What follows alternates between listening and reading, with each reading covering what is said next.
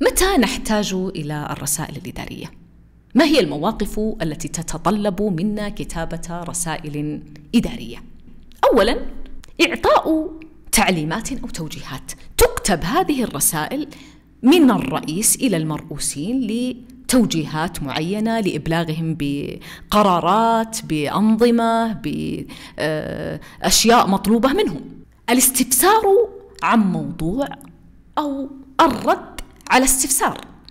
الإشعار بوصول شيء مرسل أو تسلمه. وهذه تحدث معنا كثيرا في مواقفنا اليومية وفي حياتنا اليومية أن ترسل إلينا وهذه تحصل أيضا في الإدارات والدوائر والمجالات الأعمال أن تأتي رسالة مضمونها أن الشيء الفلاني قد وصل أو أننا قد تسلمنا الشيء الفلاني للإثبات.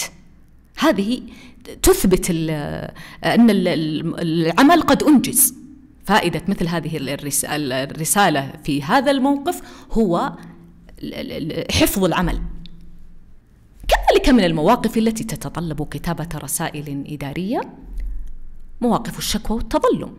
فنحن عندما نتعرض لمشكلات الأمور ليست هملا هكذا نحتاج إلى من يعنيه الأمر ومن بيده حل مثل هذه المشكلات نتقدم إليه بشكوانا بتظلمنا إن نحن تعرضنا إلى ظلم معين ونطرح القضية بين يديه لينجز المطلوب وليتولى الأمر. وكذلك من المواقف التي تتطلب كتابة رسائل إدارية رسائل الاعتذار. قد تحدث جفوة، قد تحدث مشكلة، ف آه، أو ليس بالضرورة أن تكون مشكلة قد يكون اعتذار ليس آه، من ورائه مشكلة. مثلا اعتذار طالب عن مقرر اعتذار طالب عن عدم حضور اختبار هذه تعد رسالة إدارية. اعتذار موظف عن عدم قدرته حضور اجتماع معين أو عدم قدرته مثلا على آه، مثلا تدريس مقرر معين وكذا هذه كلها من قبيل رسائل الاعتذار بالإضافة إلى آه، عندما تحدث الجفوات وكذا فإنها ترسل هذه الرسائل لتصفية الأمور وإعادة الأمور إلى مجاريها.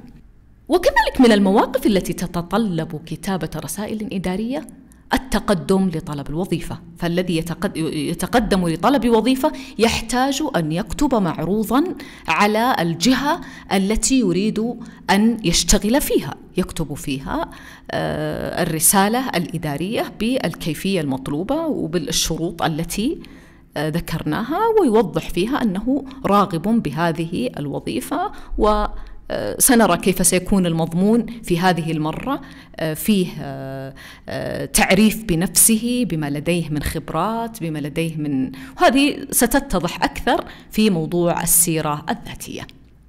من المواقف التي تتطلب كتابة رسائل إدارية أيضا الحصول على خدمة.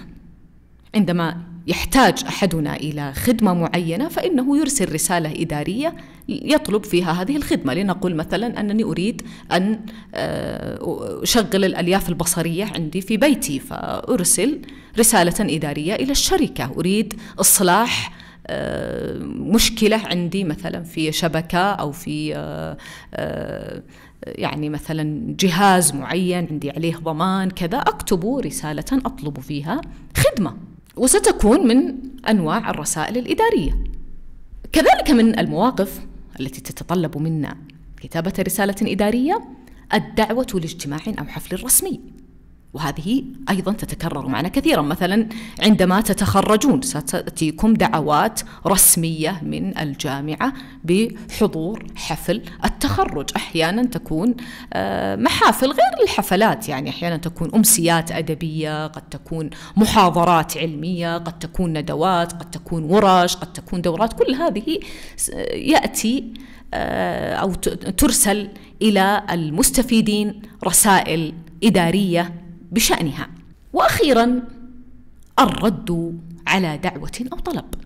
هذه آه، أحيانا يعني تأتينا الرسالة ونرد بأننا نعتذر مثلا لعدم وجودنا مثلا في هذا المكان أو لارتباطنا بمواعيد أخرى أو لعدم تمكننا أو لأننا نعاني من ظروف معينة. فنرد أو نقول آه، يعني شاكرين لكم وسنكون حاضرين ونشكر لكم ثقتكم وكذا. ممكن يعني يحصل وليس دائما يعني ليس دائما يرد على الدعوات برسائل